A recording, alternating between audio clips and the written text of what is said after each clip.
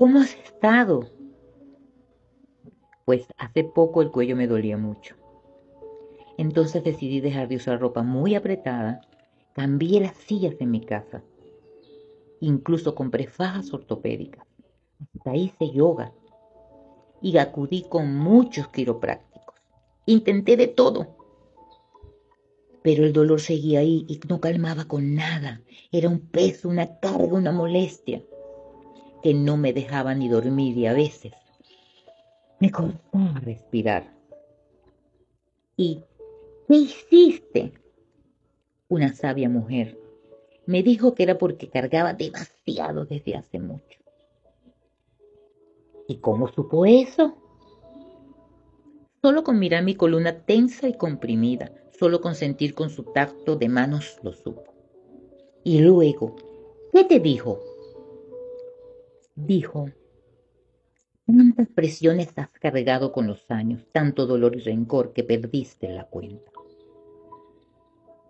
Cargas el peso del mundo propio y del ajeno. Y entonces exhalé todo el aliento que llevaba retenido desde hacía décadas. Te dijo cómo curarte. Ella tomó mis manos en las suyas, en esas manos de anciana. Sus labios rozaron mis oídos y suavemente me dijo, no todo es tu culpa, no todo es tu responsabilidad. No puedes hacerlo todo, no puedes solucionarlo todo, no tienes que aceptarlo todo. Y mis ojos empezaron a soltar lágrimas gruesas como cristales rotos. Hubo un momento donde pensé que lloraría sangre de tanto dolor que estaba sintiendo.